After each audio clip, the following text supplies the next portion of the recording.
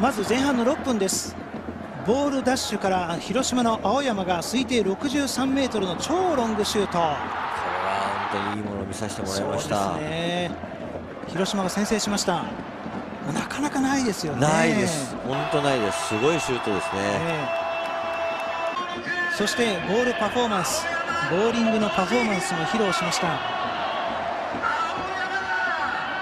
スペアを取ったというところ。